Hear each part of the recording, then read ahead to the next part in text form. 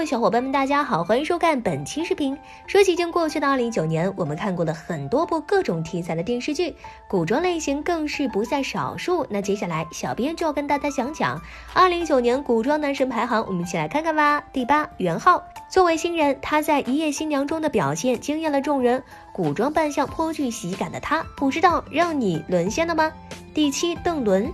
说起这位演员，我们十分熟悉吧？但万万没想到，他竟然排名第七。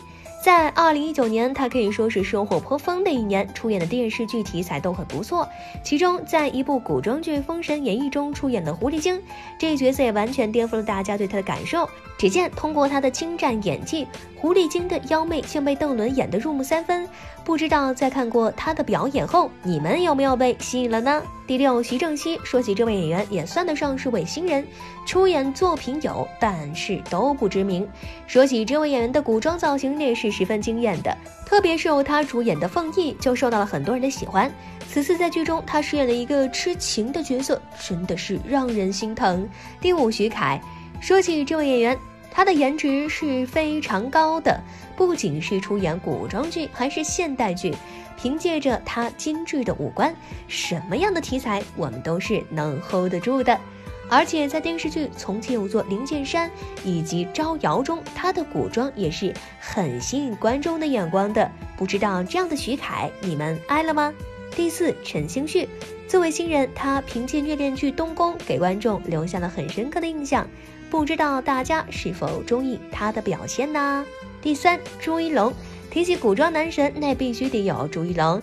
在《知否知否，应是绿肥红瘦》中，他所饰演的小公爷简直就是贵公子的典范，同时也将世家子弟的无奈表现得淋漓尽致。不得不说，这位演员身上真的有适合出演古装的气质。第二，罗云熙。这位演员想必大家已经十分熟悉了吧？凭借一张禁欲脸，俘获众多少女的心。在二零一九年，罗云熙凭借一部《白发》虐哭无数人，不知道是否让大家印象深刻呢？第一，肖战、王一博。说起这两位演员，想必大家都知道，让他俩荣登第一的是哪一部剧了吧？此剧不仅在国内火，甚至还火到了国外。另外，两人在戏中的古装造型也是十分惊艳，所以此番二人并列第一名也是实至名归。各位小伙伴们，你们怎么看呢？欢迎大家在视频下方进行评论留言，说出你对这次排名的看法。小兵期待与大家进行讨论回复。好了，本期视频到这里就结束了。喜欢视频的小伙伴们，别忘记了点赞加关注。我们下期节目再见吧。